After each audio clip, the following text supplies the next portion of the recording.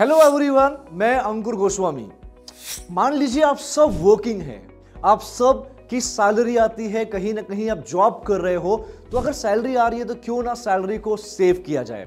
But सबसे सबसे बड़ी दिक्कत होती है सेविंग हो नहीं पाती। बहुत सारे ऐसे लोग हैं जो खर्चीले हैं। सेव नहीं कर पाते अपने पैसे।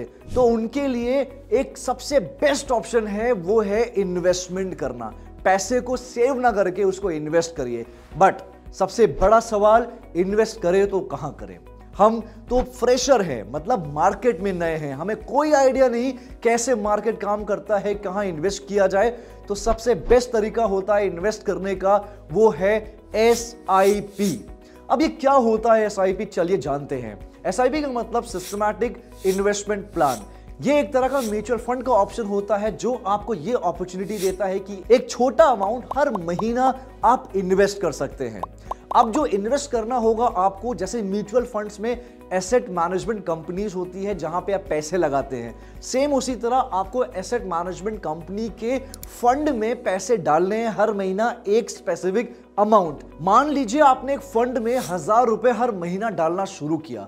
अब ये पैसा आपको रिटर्न कैसे देगा, ये समझते हैं। जैसे शेयर मार्केट में होता है शेयर की प्राइस हर कंपनी के अपने शेयर्स होते हैं, उसके एक पर्टिकुलर प्राइस होता है। उसी तरह एसआईपी में होती है यूनिट्स जैसे शेयर्स वैसे यूनिट और जैसे शेयर की प्राइस होती है, वैसे ही यूनिट की जो वैल्यू होती है, उसे हम कहते हैं नेट एसेट वैल्यू अज्यूम करिए कि आपने हज़ार रुपए हर महीने इन्वेस्ट करना शुरू किया।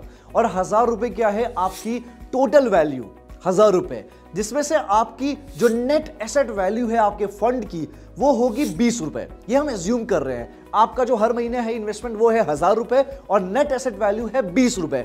तो आपकी यूनिट हो जाएगी पचास। यानी कि टोटल जो पचास है, वो आपकी यूनिट है। आपकी नेट एसेट वैल्यू बीस है और आपका जो टोटल इन्वेस्टमेंट है, एक महीने का, वो है हज़ार रुपए।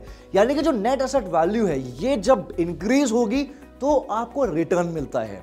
अभी अगर बीस रुपए है, यही अगर चालीस रुपए होगी तो आपने जो हज़ार रुपए इन्वेस्ट किया है, वो हज़ार रुपए हो जाएगा डायरेक्ट दो हज़ार रुपए।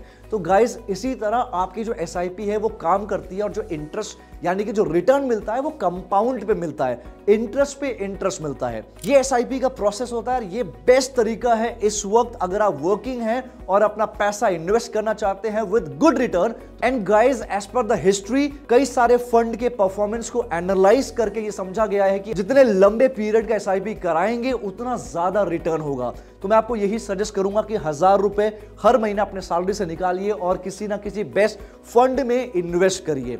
एटलीस्ट दस साल भी करेंगे तो आपको एक बहुत अच्छा रिटर्न मिलेगा। Thank you so much guys thanks a lot